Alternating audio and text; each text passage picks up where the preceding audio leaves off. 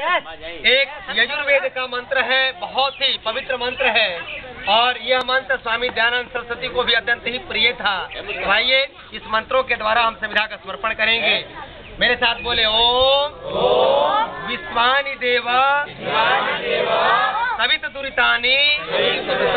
परा पराशुभ।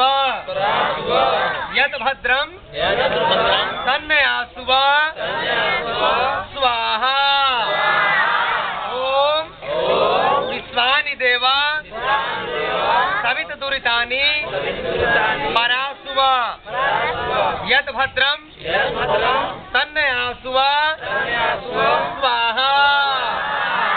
ओम। विश्वानि देवा।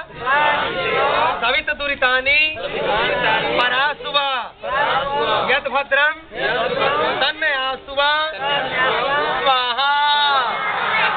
इस मंत्र का अर्थ है कि हे परमात्मा मेरे भीतर के जितने भी दुष्ट आचरण हैं, जितने भी पाप हैं, कुकर्म हैं, वो सब आज त्याज्य हो रहा है।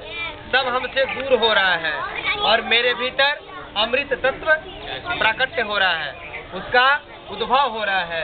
ऐसी शक्तियों का तुझे कितना बड़ा मंत्र है कि हे परमात्मा, मेरे का दुख, दर्द, तनाव, क्रोध शुगरा चुगली, चोरी, सब आज भस्म हो रहा है और अग्निदेव के सामने ऐसा संकल्प ऐसा प्रस्ताव इससे पढ़कर के कहीं दूसरा साक्षात देव है होता ही नहीं है। इसलिए हे अग्निदेव कितना प्रचंड स्वरूप में आप हम सबका कल्याण कर रहे हैं। इसलिए हम ऐसे भाव को प्रकट करते हुए इस जीवन को निरंतर आगे की तरफ़ लेते चलेंगे।